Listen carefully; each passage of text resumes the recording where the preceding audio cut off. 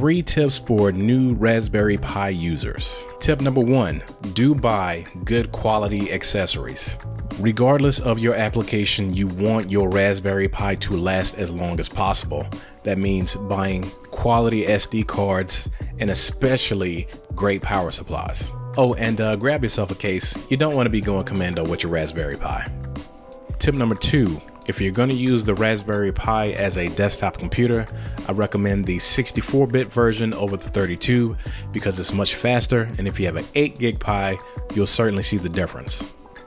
Tip number three regardless of whichever distro you are using, always, and I mean always, back up your Raspberry Pi.